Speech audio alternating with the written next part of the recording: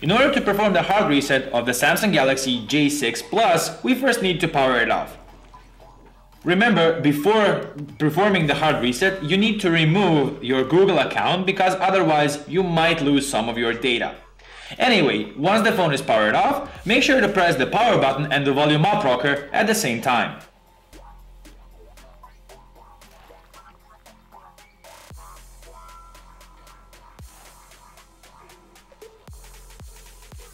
Once in the recovery mode, navigate to wipe data and factory reset. Confirm, yes, and confirm. And now, reboot system now.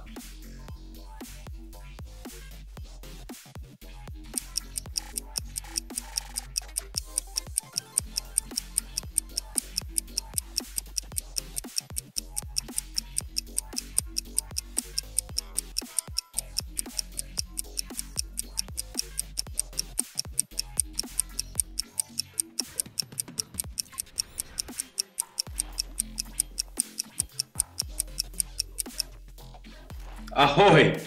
There you have it. Your Samsung Galaxy J6 Plus is now returned to its factory settings.